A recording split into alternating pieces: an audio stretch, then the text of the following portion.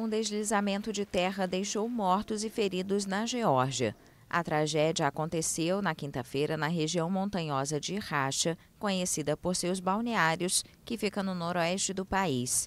O Ministério do Interior informou que mais corpos foram encontrados no local nesta sexta-feira e as operações de busca prosseguem, já que ainda há muitos desaparecidos. O deslizamento de terra ocorreu perto de um hotel em Chovy, um pequeno centro turístico nas montanhas da região de Racha. Chalés, linhas de energia, estradas e pontes foram danificadas. Ainda segundo o Ministério do Interior, cerca de 400 bombeiros e membros de diferentes unidades policiais estão trabalhando nas operações de resgate e conseguiram retirar 140 pessoas até agora.